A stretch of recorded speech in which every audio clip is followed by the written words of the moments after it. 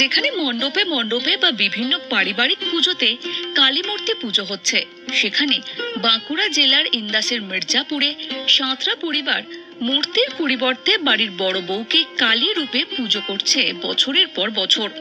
রীতি অনুযায়ী সাঁতরা পরিবারের বড় বৌমাকে গলায় রক্ত জবা এবং কপালে লাল চন্দনের তিলক দিয়ে সাজিয়ে শাস্ত্র মতে শুরু করা হয় পুজো পাঠ। এটা আমি জন্ম থেকে দেখে আসছি, আমাদের এইভাবে পূর্বপুরুষ পুজো হয়ে আসছে, আর মা কৈলাসীর পুজো। আমার বাবা এখন করছে, কিন্তু তার পূর্বপুরুষ তার আগে দাদু, তার দাদু করে এসছে, এবং এই বংশের মানে এই ফ্যামিলির একটা রীতি আছে মানে মানে ঠাকুর মানে মা যাকে মানে পুজোর ইয়ে করবে, সেই মানে এই পুজোতে বসতে পারবে আর কি। কিন্তু কেউ, যে কেউ ইয়ে করতে পারবে না আর কি। দেবী রূপে যে পুজোতে হচ্ছে, আমার স্বয়ং মা, আমার জন্মদাতা মা।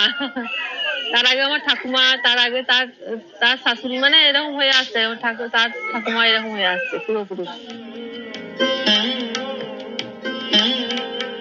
বিগত ষাট বছর ধরে চলে আসছে এই নিয়মে পুজো, যা দেখতে গ্রামের মানুষরা ভিড় জমান।